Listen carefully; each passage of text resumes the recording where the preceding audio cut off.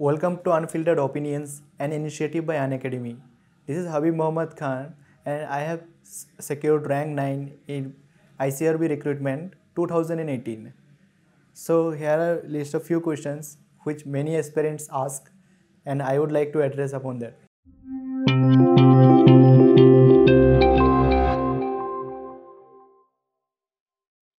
The first question which was being asked is how to prepare for ICRB exam while working in the IT field. So as you know that IT field is comprises of various subjects like DBMS or networking. So it will be helpful in the uh, ICRB preparation also. So it will be not that much challenging. You just have to practice the mock test papers regarding that. Second question which has been asked is how would my initial work life be when I join ISRO? So it will be a good learning curve if uh, you join ISRO. Like you will get to know the various aspects of the spacecraft, and uh, you are from computer background, so you will be doing many things related to automation in spacecraft field. Your opinion of ISRO job versus an IT job. So for me, like ISRO job has been always been my dream job. So you, anyways, whatever mission you want to accomplish in IT, uh, that knowledge you will be employing here. So that will be my thought. Ki ISRO job, I think it is better. What are the jobs offered by ISRO? So ISRO will be uh, recruiting on various uh, posts for technical as well as non-technical staff. So like for the recruitment of scientists or technical assistant for any admins administration uh, side also recruitment will be there. Are there any practical skill test exam in isro recruitment? As far as our uh, this group is concerned like for scientist engineer sc or technical assistant there will be no such uh, skill test. You will be going through written test followed by interview. And for written test you have uh, shortlisting criteria is your cgpa in btech which is 6.84 uh, what is the fastest way to get a job into isro so for that i will say ki you can join iist you, should prepare right from the higher secondary level. You get into iist and you perform well. They, there you will be uh, after completion of your btech you will be absorbed directly.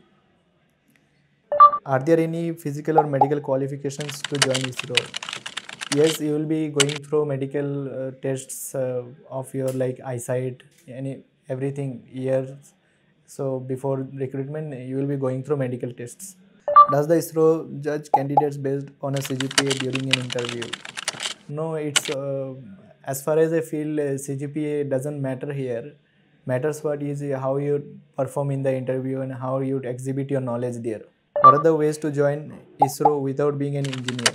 As I mentioned earlier, in uh, non-technical uh, grounds also people are uh, joining ISRO like in admin or in purchase stores. So accounts. So it is, ISRO is like open to all kinds of people. It caters to the needs of all people. Qualities needed to be a good scientist ISRO. For this, I should say that those who have a good interest towards space science, they should join ISRO. And qualities needed as expected like you should be sincere enough area you are allocated you give your best there it's not that okay sometimes work may be interdisciplinary. Like if you are from computer science background it's not necessary that you will be given uh, computer work. Sometimes electronics related work may be also there but you give your best then management will realize eventually. Can i prepare for gate esc isro while working 8 to 9 hours in a private company? So this is a bit tricky question because yeah, working eight to nine hours in a private company and then preparing is a bit difficult. Though you can uh, take one year time and you can on a daily basis two three hours per day you can prepare. That will help you in getting through the exams. How do i crack the BARC exam?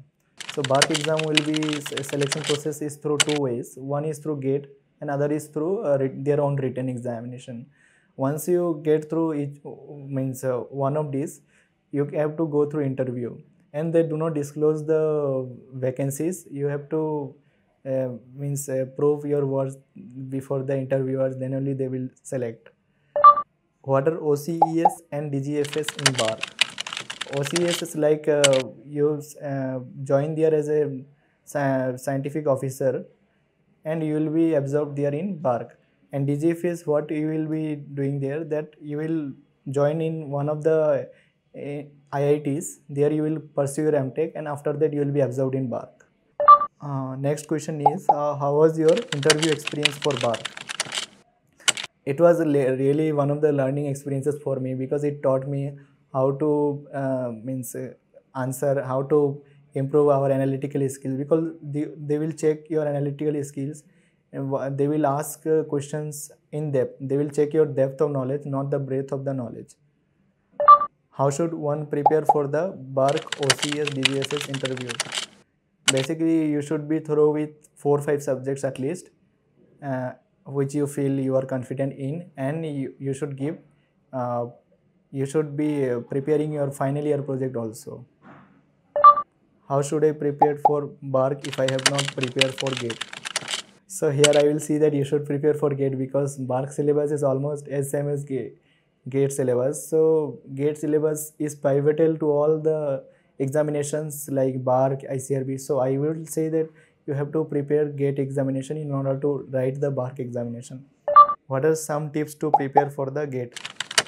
So basically preparation strategy involves that you prepare the topics uh, when you have around some 8-9 months of time, you prepare each topic thoroughly and prepare short notes and then practice the test series. So that will be good for you. And in the final time uh, when 10 15 days are left go through the short notes only and do not uh, try the test series and all. Is it possible to prepare for gate without coaching?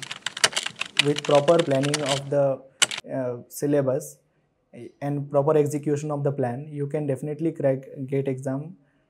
All is need all you need is some 8 9 months of thorough preparation and uh, the uh, way I have mentioned in the uh, previous question that you refer to the standard material and notes and make your own notes which you can refer in the last time.